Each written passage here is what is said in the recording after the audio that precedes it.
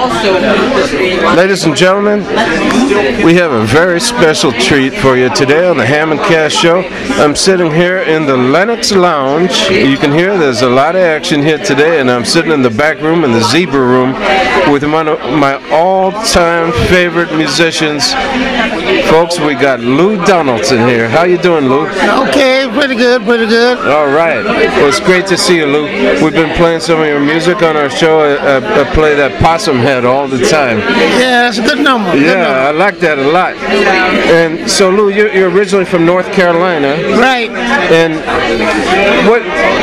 When did you come to New York? You've been here for a long time. right? Yeah, I've been here since 1950. Wow. Actually, I came in 47, but I, I went back and then I came back again in 50. That's beautiful. Well, it's a, always a thriving scene here. And, Yep, a lot of stuff happening here. and you've been a band leader pretty much all the way along, right? Yeah, right, right. I had to because back then, uh, the only way you could make any money. Right. Because the band leaders back then, you know, well, I don't want to go into them, but you.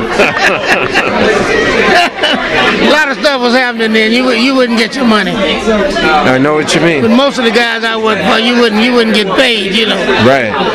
That's very, very typical in this business, unfortunately. Yeah, well, and during that day, they had some different kind of habits, you know. Right.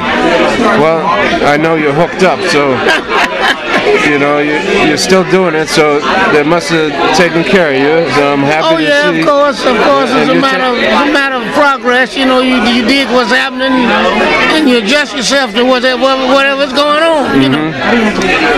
Yes, you know, uh, uh, we were just talking right before we turned on the microphone how a lot of the clubs were very mobbed up, you know, and that was actually where a lot of the music came from.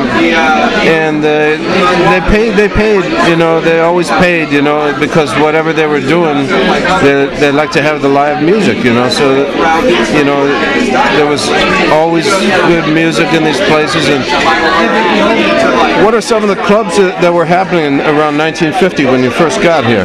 Oh man, they had about 20 clubs right here in Harlem. You know, I mean, there's a lot of them. Baby Grand, Small's Paradise. Uh, they had uh, what they have? They Sugar Ray had a had a had a bar and had a band in there. And Connie's, Uh-huh. place called Connie's. Red Rooster. No, they had a lot of, that's beautiful. A lot of places in New York. A lot of a lot of happening. And what was the instrumentation that you worked with uh, before you started doing the organ group? Oh, I always work with piano, piano trios, piano trios. And you have a long-time association with uh, Dr. Lonnie Smith, right? Oh yeah, yeah. You guys go way back, right? Oh yeah, yeah. I knew Lonnie way back when he was working with George Benson. Right. He used to be on Columbia Records, you know. I just heard Lonnie the other day. He played a gig in the rain, and I thought they were going to call it, but they put plastic all around the organ, and they hit down in Madison Oh Madison yeah, Park. they did. You know? Oh, Yeah. that's weird. Usually when it rains, they don't play no electronic instruments. Right. I was uh, the the rain sort of let up just before he hit, so they they decided to do it. You know, he sounded great as always. You know. Yeah. But I heard you with him uh, at Birdland not too long ago, Yeah, and that was nice. Man. yeah. Well, he's a great guy. Yeah. Well, you guys have a beautiful chemistry. Oh yeah, we've been together many years, many years. Yeah, Luke. Don't have to have no rehearsal because they already know the stuff. That's where it's at, man. There's no time to rehearse. You just hit it Yeah, and just quit hit, it. just right? hit, just hit it and get it.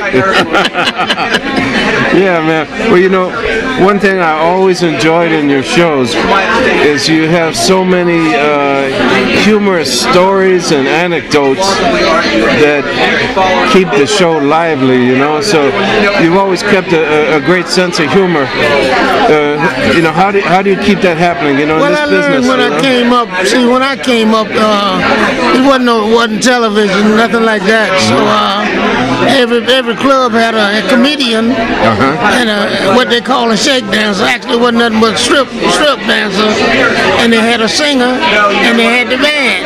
And so you always, I heard the jokes every night, so I just remember them. Yeah. I worked with Redd Foxx for years and Nipsey oh, Russell. really? Wow. Nipsey Russell, cats like that. So I, I just remember the jokes they told. You Well, know? you got the timing and the, the delivery. Well, they knew how to do to keep keep that keep the crowd, you know, Right. going, you know. So I just I remember what what I saw them do.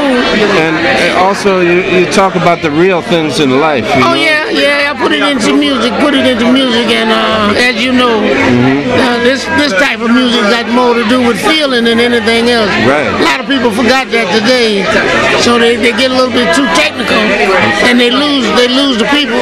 Right. I don't ever do that. That's something they can't teach in school. That's right. I don't ever do that. I play I play some exhibition, you know, just to let you know I can get over the horn, but then I go back to the other stuff. Yeah, e- even the titles of your tunes that they crack me up sometimes. Uh, How did you, how did you come up with the title Possum Head?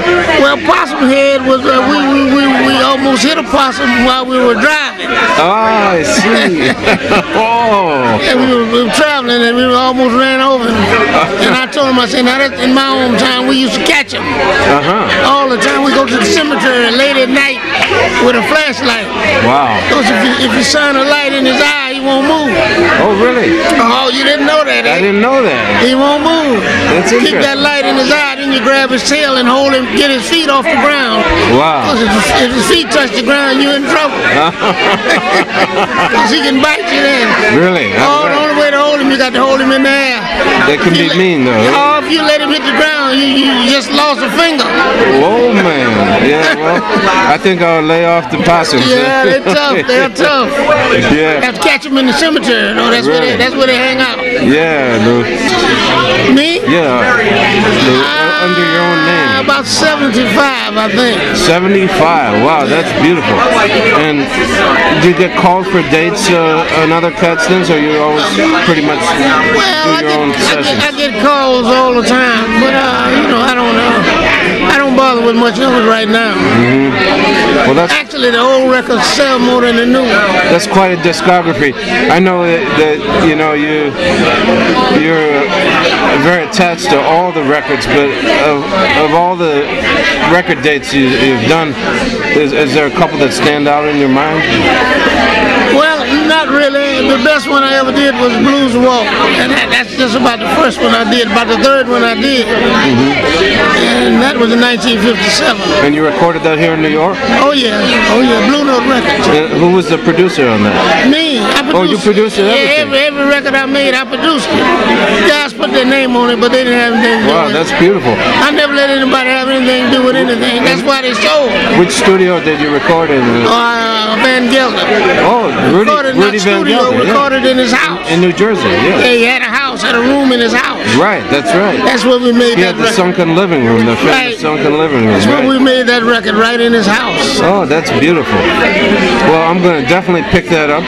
And Lou, uh, you got so many albums out, and, uh, and the, the latest one, what, which is that one, we want to push it, you know? Uh, the latest one is uh, the artist presents. Artist Presents. It's one of uh, one I, I selected the best songs I like and put them on the album. That sounds And fantastic. selling like hotcakes. All right. And so, Another great album I did was close in '68 when I did uh, Alligator Boogaloo.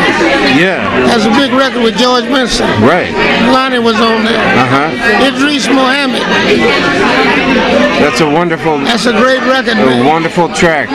Well, we're going to definitely get that on the radio. And do you have a website that we can direct everybody to? I got one somewhere. My, my daughter's got it in Florida. You can pick it up. Okay. Sweet Papa Lou, AOL.com. All right, everybody.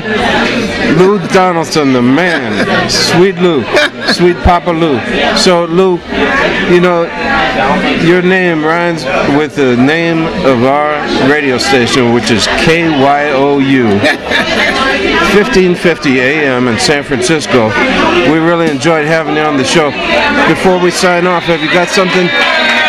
Oh yeah, they're having a party here at the Lenox Lounge. it's not even New Year's Eve yet, you know.